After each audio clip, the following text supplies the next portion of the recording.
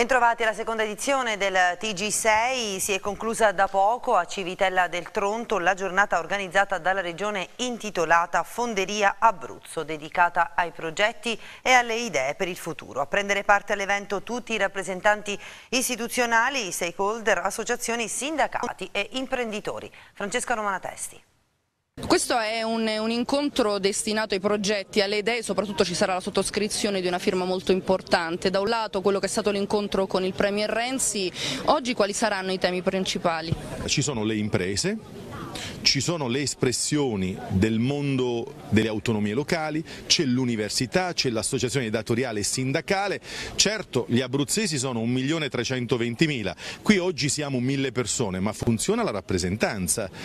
Io dico che qui c'è l'Abruzzo che ha da dispiegare un progetto di vita, qui c'è l'Abruzzo della comunità e l'Abruzzo dell'ordinamento, poi racconteremo agli abruzzesi che ogni giorno fanno mille cose giustamente come stiamo impiegando il potere e le risorse finanziarie. Eh, io ho partecipato personalmente a tre tavoli, due dei quali riguardano la filiera ambientale, il primo legato al tema della mitigazione del rischio idrogeologico, quindi tutto ciò che riguarda la prevenzione e la protezione civile. E abbiamo approfondito non solo le tematiche ma anche con il mondo del volontariato abbiamo affinato alcune modalità di intervento nell'ottica del perseguimento di quelle direttive nazionali che abbiamo eh, peraltro eh, adeguatamente ripassato non più di due giorni fa a Isola del Gran Sasso in un convegno dove eh, era presente anche il capo dipartimento Curcio.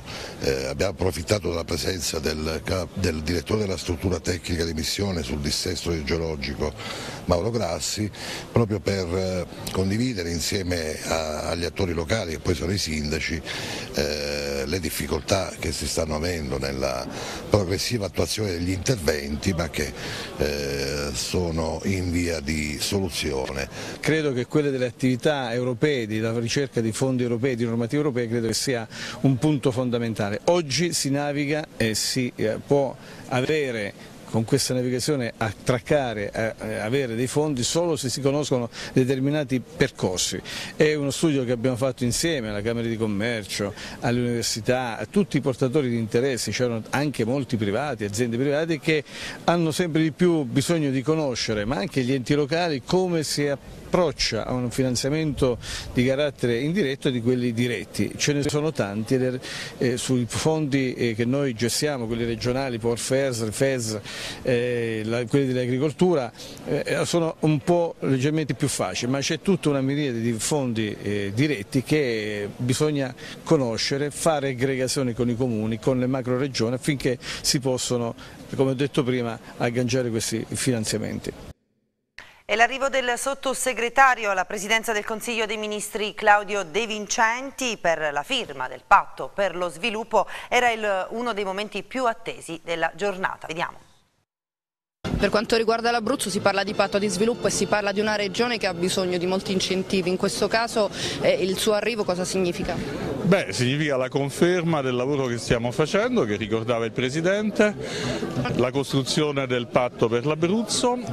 Eh, questa settimana che viene abbiamo l'incontro con la Regione per avviare operativamente l'attuazione del patto, quindi gli incentivi per l'industria, le infrastrutture, le politiche ambientali, le politiche per il rilancio dell'attività culturale e turistica della regione. Questa fortezza è un esempio straordinario di un patrimonio a disposizione dell'Abruzzo e dell'Italia. Parliamo di trasporti, dura replica del consigliere delegato Camillo D'Alessandro che alle polemiche montate dal presidente di Confindustria Agostino Ballone sul bilancio dell'azienda unica di trasporti, la tua ricorda l'importante apporto dei fondi regionali nei confronti proprio della Baltour. Ascoltiamo. Ma intanto parla il presidente Convindustria o parla Ballone, titolare di un'azienda di trasporto pubblico locale? Perché la sua duplice veste fanno, fanno, sì che ci sia un gigantesco conflitto di interesse. Non so se lui o qualche altro sperava di poter acquistare ai saldi di fine stagione le società pubbliche, ma noi per missione istituzionale e per convinzione politica abbiamo il dovere di salvaguardare il patrimonio pubblico, dei valori e del valore che avevano e che oggi è tua, che avevano le tre società e oggi è tua. È straordinaria questa posizione di Ballone che appunto grida secondo me allo scandalo per il fatto che parla uno che ha chiaramente degli interessi. E poi credo che ci sia un limite anche nel merito delle questioni che pone perché lui parla di libero mercato, il primo ad operare, a non operare nel libero mercato sono gli attuali concessionari di trasporto pubblico locale privati al pari di tua perché avevano concessioni date nella notte dei tempi e sempre prorogate senza gara, quindi Ballone riceve circa 2 milioni di euro dalla regione per fare i, eh, il trasporto pubblico locale nella città di Teramo, che è molto più facile farlo nel centro urbano di un capoluogo che, che ne so, andare a prendere la gente a, a Pizzoferrato piuttosto che nel comune più impervio della nostra regione, che noi facciamo. Quindi da un punto di vista efficienza forse siamo più efficienti noi perché andiamo a prendere eh, i cittadini, uno, due, tre, anche in comune impervio, è molto più facile farlo all'interno del centro urbano di una città dove comunque si eh, eh, percepisce esattamente gli stessi soldi che percepisce Stua nelle stesse modalità. E a Teramo ieri pomeriggio si è parlato del nuovo codice appalti con l'intervento del Vice Ministro a Infrastrutture e Trasporti Riccardo Nencini. Obiettivo la certezza sui tempi dei lavori e sui pagamenti. Ascoltiamo. Dalla carenza progettuale, carenza di finanziamenti e troppi ricorsi alla magistratura si era inaugurata una fase abbastanza lunga per la quale un'opera pubblica in Italia non aveva né un inizio né una fine e il codice risponderà positivamente. Porterà alla certezza che un lavoro pubblico ha un inizio e una fine certa. Lo facciamo avendo previsto il progetto esecutivo in sostituzione dei di una progettazione più vaga che era prevista nel vecchio codice, la certezza di finanziamenti e soprattutto nella riduzione delle stazioni appaltanti la possibilità di avere poche stazioni e ben formate, quindi all'altezza di gare d'appalto anche significative. Il codice contiene senza dubbio delle forti innovazioni e delle marcate semplificazioni ma come tutte le innovazioni ha bisogno di essere eh, recepito da parte della, delle stazioni appaltanti che hanno bisogno di conoscerlo, di praticarlo, di metterlo in pratica. È indubbia la spinta del nuovo codice verso una eh, possibile riduzione del contenzioso.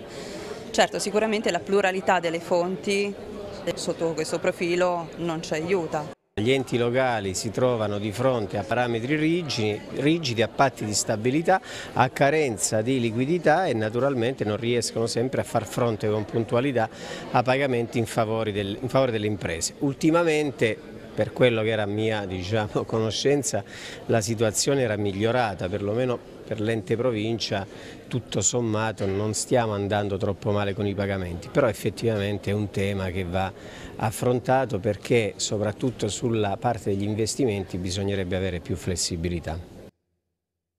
A Pescara il consigliere comunale di Forza Italia Vincenzo D'Incecco pone all'attenzione eh, il problema eh, ordine pubblico dell'area attorno alla moschea di Via Pisa. Paolo Renzetti. Consigliere D'Incecco, c'è un problema a Pescara che riguarda la moschea di Via Pisa o c'è anche un po' di strumentalizzazione? Allora a Pescara io credo che ci sia un problema che riguardi tutto il quadrilatero centrale, a partire da quello che sta accadendo in questi giorni nella, eh, in, questa, in, questi locali che sembrerebbero essere appunto luogo di, di, culto perché se ci passate vedete, vi rendete conto con i vostri occhi di quello che accade quotidianamente. C'è un problema legato alla presenza di tantissime persone che bivaccano nell'area del terminal bus, c'è un problema legato a, a alcuni eh, edifici occupati ad esempio in via Chieti eh, e anche in altre zone del centro della città, c'è un problema di piazza Santa Caterina dove avviene tutto il controridotto, tutte le ore del giorno e soprattutto la domenica, c'è un problema di sicurezza e degrado che riguarda il centro della città. Nello specifico in quella parte, cioè in via Pisa, un, accade da, da, tempo un fatto che, eh, su cui noi vogliamo eh, porre un po' l'attenzione perché i cittadini si lamentano per una eh, presenza eh, ingente di persone che in tutti i giorni, tutti i giorni e in diverse ore della giornata frequentano questo luogo che dovrebbe essere il luogo di un'associazione culturale, il, la sede di un'associazione culturale, ma non si comprende perché più di 150-200 persone in molte ore della giornata si affollano lì dentro, eh, si levano le scarpe lungo la strada, si mettono a pregare dentro questa, questa, questa struttura e allora dovessero, il sindaco ci dica se quello è un luogo di culto, se così fosse noi risponderemo ai cittadini e gli diremo sì, quello è un luogo di culto, altrimenti dovremmo prendere dei provvedimenti perché non è possibile che una, una sede di un'associazione diventi un luogo così frequentato dove addirittura in alcune ore, in alcuni momenti della giornata si pranza e si ciba e tutto poi viene riportato sul marciapiede.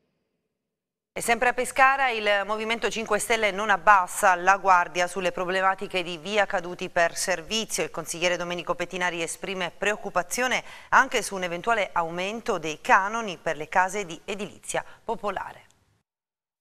Consigliere Pettinari, siamo in via caduti per servizio, come eh, tante altre volte per parlare delle problematiche di questo quartiere.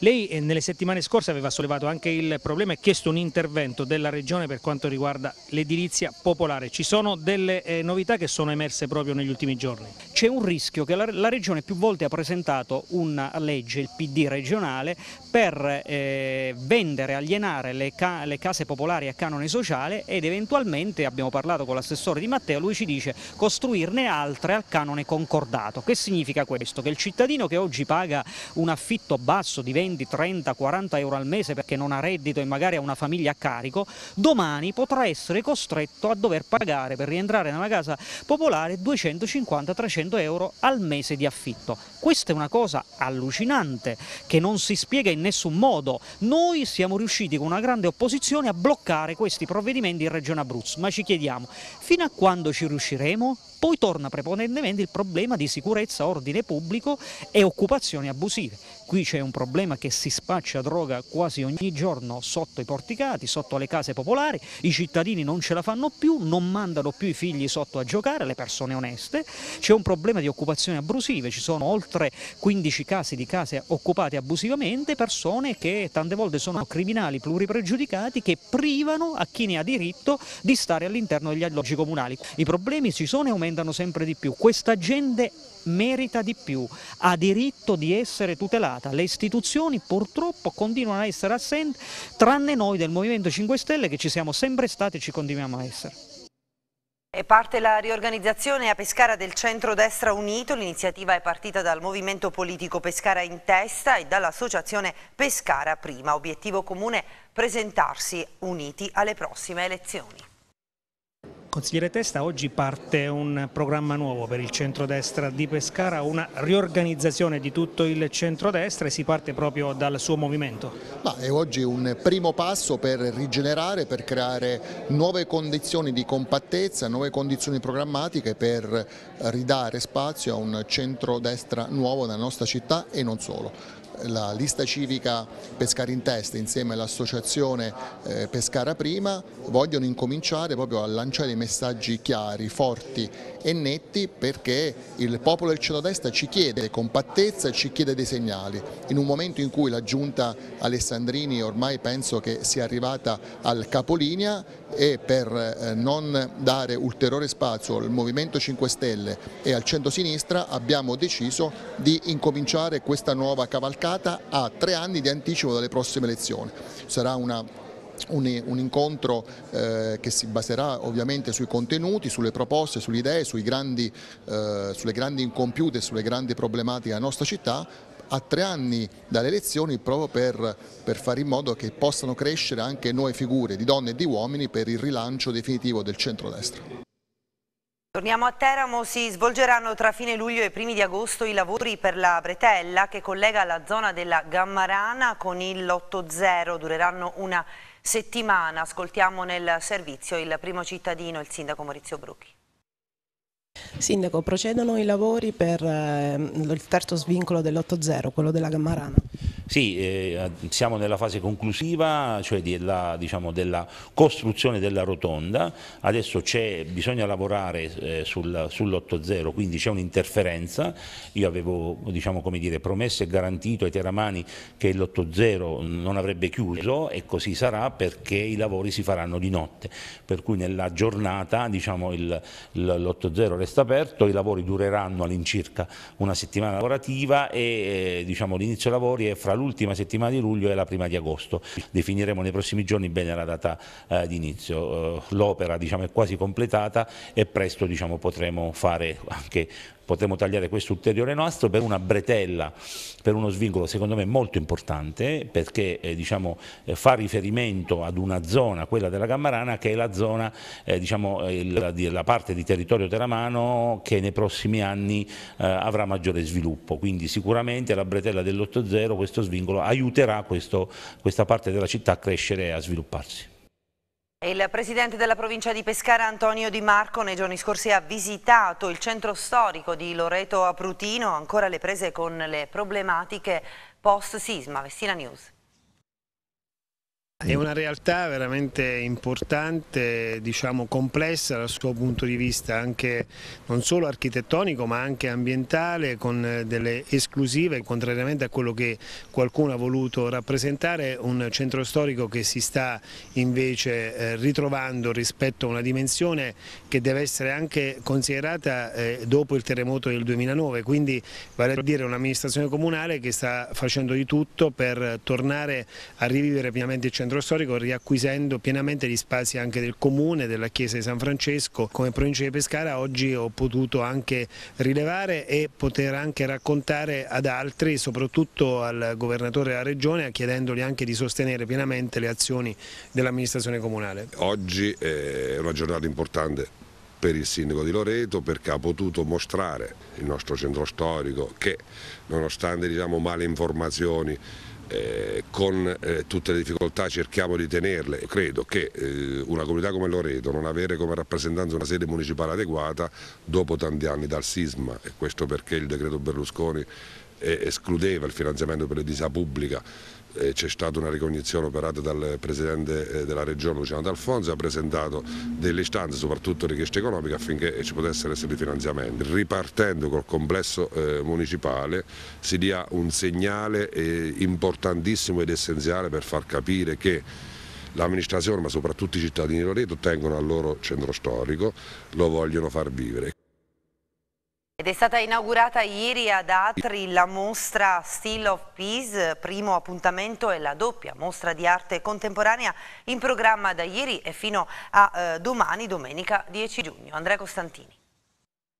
Parlare di pace attraverso l'arte, attraverso la cultura. In un momento particolarmente delicato per l'Europa è ancora più attuale la rassegna che è stata inaugurata ieri ad Atri, Stills of Peace and Everyday Life, frammenti di pace e di vita quotidiana, giunta alla sua terza edizione, una sorta di maratona culturale con 24 artisti, una rassegna di cinema d'autore e tanti art talk che hanno la Francia come soggetto principale.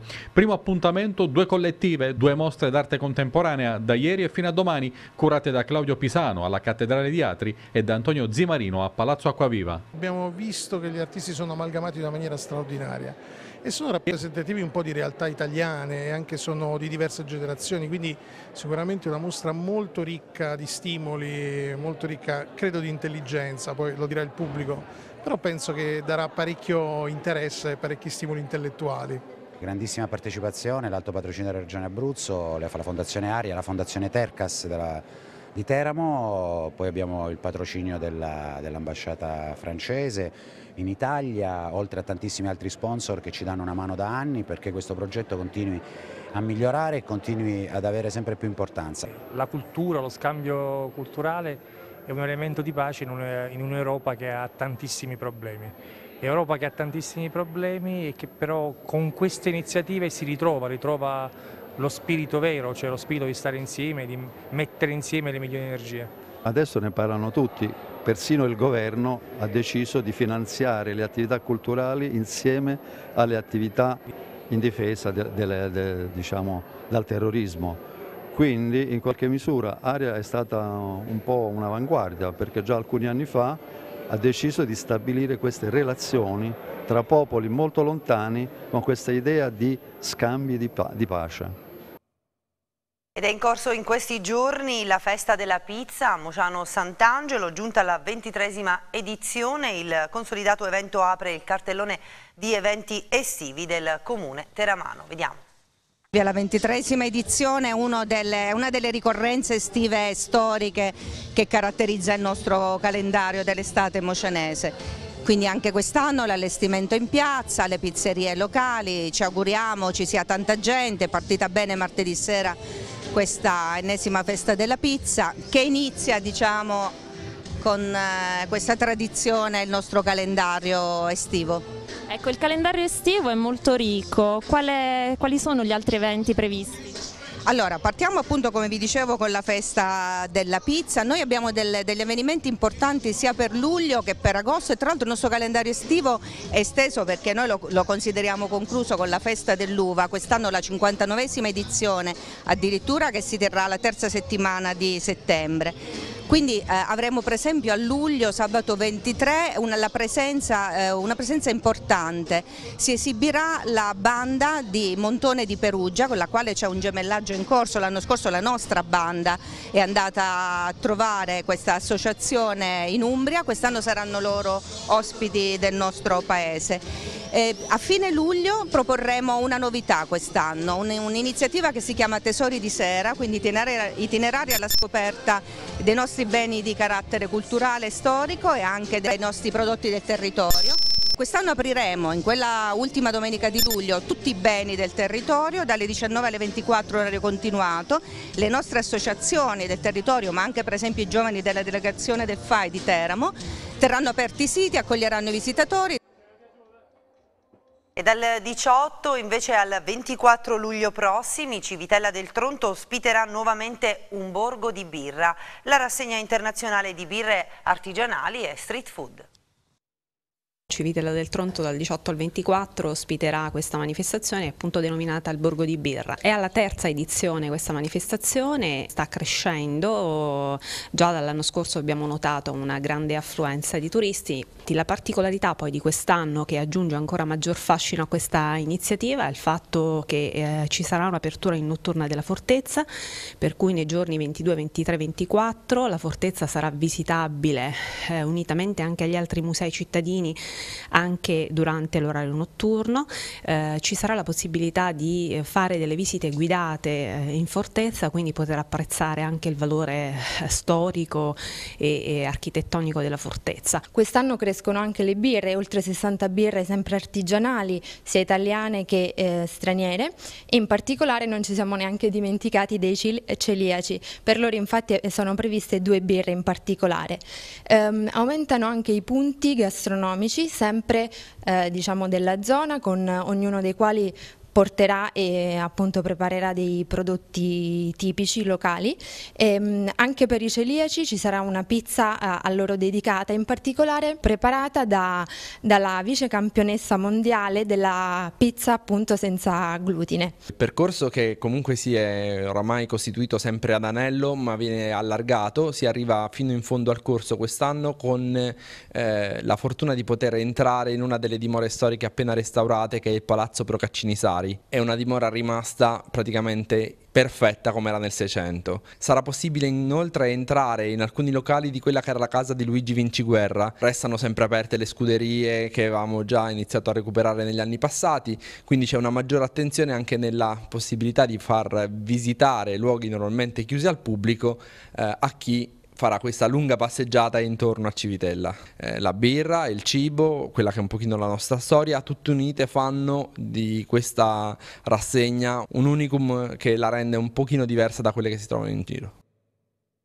E passiamo ora alla pagina sportiva, visite mediche stamani per due neocalciatori biancazzurri, il difensore Cristiano Biraghi e l'attaccante Ray Manai. I due giocatori sono arrivati a Pescara nell'operazione che ha portato Caprari all'Inter, intanto il terzino Crescenzi, un giocatore del Pescara a titolo definitivo. Il giocatore non era stato riscattato a giugno ma il Pescara ha acquisito dalla Roma il cartellino per 300.000 euro, il servizio.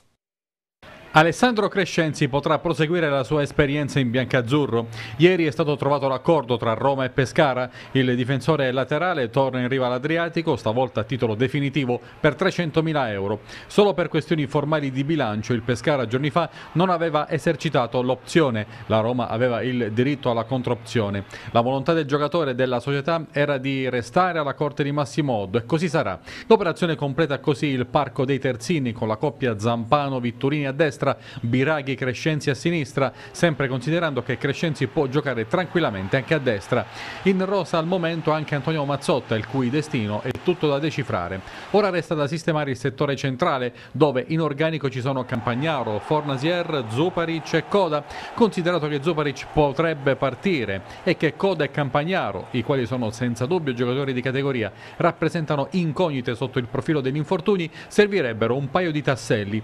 Di particolare gradimento di Oddo, l'esperto atalantino Guglielmo Stendardo, anche se il primo obiettivo è lo slovacco della Roma, Norbert Giomber, che però ha un ingaggio piuttosto alto, da 700.000 euro annui, che si potrebbe aggirare se il club di Pallotta partecipasse al pagamento.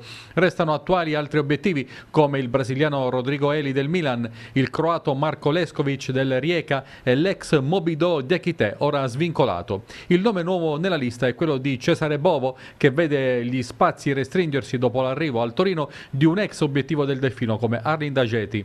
Sostanzialmente sistemati, almeno per ora, i settori di portiere e centrocampo, resta da rifinire l'attacco. Intanto sul fronte delle uscite il Pescara è al lavoro per la cessione di Andrea Cocco. Dopo averlo valorizzato a Vicenza, Pasquale Marino spinge per averlo nella sua nuova squadra, il Frosinone. L'attaccante cagliaritano andrebbe in prestito con obbligo di riscatto in caso di pronto ritorno in Serie A dei Ciociari.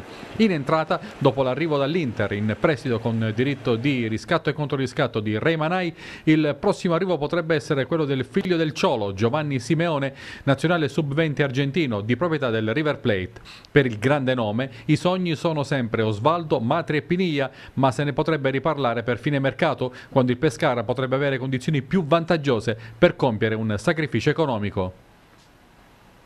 Ed è stato presentato a Pescara il primo Memorial Tom Rosati in ricordo dell'indimenticato allenatore del Pescara. Vediamo. Pescara ricorda Tom Rosati e lo fa con un memorial patrocinato dal Comune di Pescara, iniziativa un'iniziativa importante. La Pescara Sud ci ha promosso questo evento, quello di questo primo memorial Tom Rosati, noi con molto entusiasmo abbiamo accettato con la collaborazione della USA di Pescara Assistenza, anche dell'Avis, proprio perché per ricordare innanzitutto le geste sportive che lui in tanti anni ha donato al mondo del calcio ma in modo particolare eh, per ricordare soprattutto la funzione di uomo, di coraggio che a quei tempi non era poco. Tom Rosati ha fatto la storia del Pescara, ha riportato il Pescara in categorie importanti, come diceva lei probabilmente nel calcio di oggi non si troverebbe benissimo. Questo Memoria ha un progetto sociale, ha un progetto, quello di ridare valore al mondo dello sport attraverso i valori veri che, che lo sport vuole dare soprattutto ai giovani. Proprio il giocatore dalle stesse, dalle stesse parole eh, trasmise questo messaggio che non solo quello, diciamo, quel scappellotto, quella carezza un po' più forte insomma, gli portò benefici non solo in campo sportivo ma anche sul lato umano di uomo. E dopo la mancata iscrizione del Lanciano al torneo di Lega Pro, nonostante ci sarebbe tempo, fino al 15 di luglio prosegue incessante il lavoro del sindaco Mario Pupillo. La notizia che in qualche modo ha veramente deluso i tifosi insomma, e ha lasciato a bocca aperta è quella dei Maio che si fanno indietro con il Lanciano. A questo punto si chiede l'intervento del primo cittadino di Mario Pupillo. In questa situazione quale può essere il destino della squadra? Ma, eh, sicuramente fino al 15 di eh, luglio c'è sempre una piccola speranza che qualcuno possa acquisire o continuare l'esperienza Virtus, considerando che il prolungamento di una settimana determina solo la penalizzazione di un punto del campionato di Lega Pro. Non è insomma, molto facile immaginare una soluzione, eh, ma ci speriamo. E poi come sindaco sto valutando l'imprenditorialità locale e regionale che se possono effettivamente costituire un nucleo capace di poi portare a termine il progetto di una nuova Virtus o di una nuova società. Se l'aspettava un epilogo come questo? Guardi, mm, non me l'aspettavo eh, sicuramente, però capisco che noi abbiamo vissuto una favola eh, calcistica bellissima e come tutte le favole anche le favole finiscono. Eh, certo magari non mi sarei aspettato in questo modo, magari in un modo più soft, meno, meno brusco, che avesse permesso a tutti noi di lavorare con maggiore tranquillità, però noi dobbiamo essere anche grati a chi per otto anni ci ha fatto vedere lanciare il grande calcio, quattro anni per una città di 36.000 abitanti, la Serie B eh, non è cosa da poco, rimarrà nella storia. Ed è tutto per questa seconda edizione, l'appuntamento con l'informazione di TV6 torna puntuale alle ore 23. Grazie per l'attenzione e buon proseguimento.